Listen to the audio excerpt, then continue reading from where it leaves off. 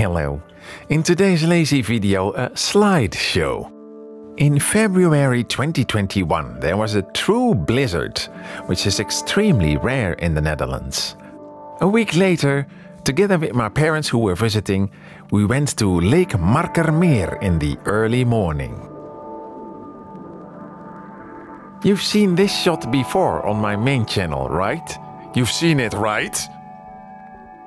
I recorded some very nice sound effects there too, and then left the sound recorder there.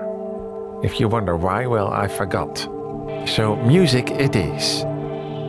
But anyway, the priority was taking pictures. This is actually a very rare phenomenon. I mean this ice pattern, not taking pictures. It can happen with strong winds and low temperatures, and the crack in the ice happened later. These ice balls were about the size of a ping pong ball to a tennis ball. Here it is with a person for comparison. And these are just two wooden poles. A part of the ice had already molten away, as you can see by this tree. It was even more extreme than this. Shortly after the blizzard, I could actually only leave the house by walking, which was kind of disappointing. The plan almost failed, by the way. I totally did not know they were reinforcing the dikes, and a big part of the shores were totally inaccessible. But after a bit of driving, just in time, we found this place.